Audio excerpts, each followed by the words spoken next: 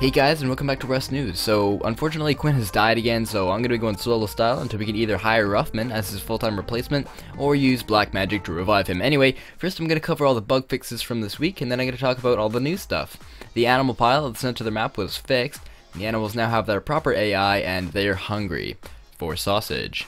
Water reflection fog works properly, you start with only a rock, and Rust will now run a 64-bit build if you have a 64-bit computer. Upgrading to 64-bit caused a lot more crashes, so they added an automatic crash logging system to help resolve the issues. Campfires now start with a little bit of wood in them like we're used to, and the damage from melee weapons is applied at the proper point in the swinging animation. You used to be able to access the context menus and use people's stuff through walls, but alas, no longer.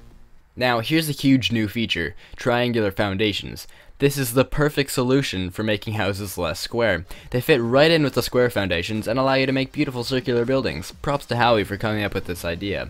There's a crude red or green square to represent the locks on doors. The art will obviously be improved, but it's a step in the right direction.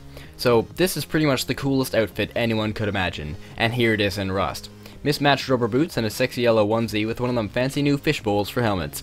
If you want, you can remove the helmet and gloves and head to the desert to cook some meth. Whoa, is that an iceberg? What is that doing in Rust? Silly old Garry. Trees and snow biomes now have snow on them, although I'm pretty sure last week they said they wouldn't be improving trees at all until SpeedTree was added. Xavier is working on a new sleeping bag model. Very rustic.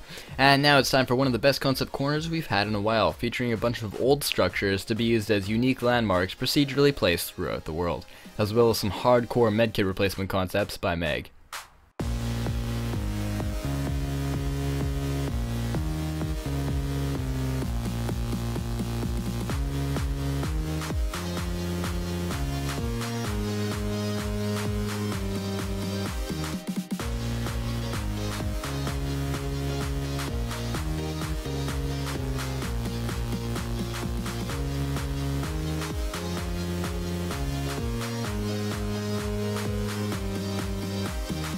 So here we are, another Friday gone, and we continue to see progress towards a really polished looking Rust. If you enjoyed it, it would be great if you could leave a like or go subscribe to our backup channel, which will be linked in the description.